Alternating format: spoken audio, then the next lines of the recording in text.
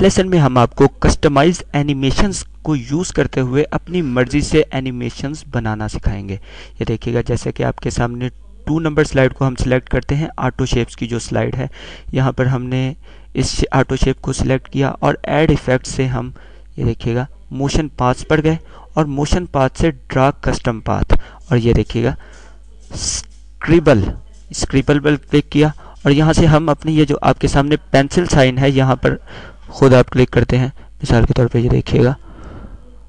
ये, ये आपके सामने। ये हमने पेंसिल से खुद पाथ ड्रॉ कर दिया फिर से यहाँ पर आकर रोक लिया।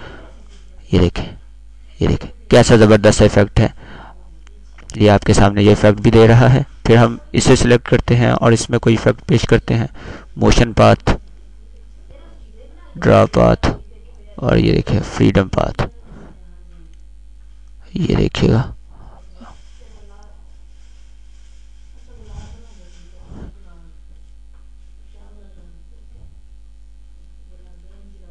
ये देखिए कैसा ज़बरदस्त पाथ आपके सामने आए।